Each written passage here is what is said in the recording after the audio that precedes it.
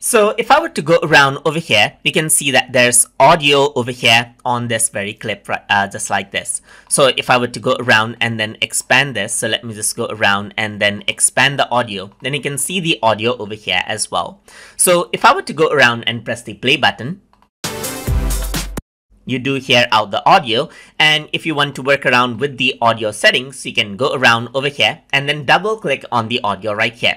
So over here you can see that you can control out the clip volume right here. You can go around and reduce the volume. And you can also see the audio wave chains right here as you can see uh, just like this. So you can go around and play this.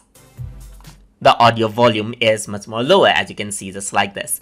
You can go around and mute out the audio as well so in that case, you don't hear out any audio and you can go to advanced setting over here as well. So you can change this from music type to let's say voice if you have a voiceover and uh, similar settings will be applied and others as well as you can see.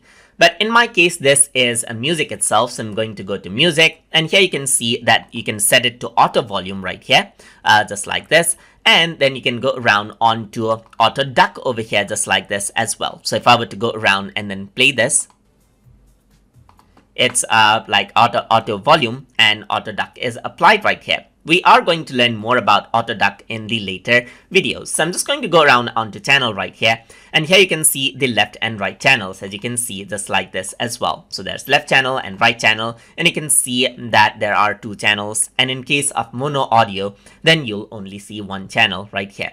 So over here, uh, this is how you can go around and then work around with the audio settings inside of Adobe Premiere Rush. So hope you guys learned something as always. And as always, please like, comment, share, and subscribe.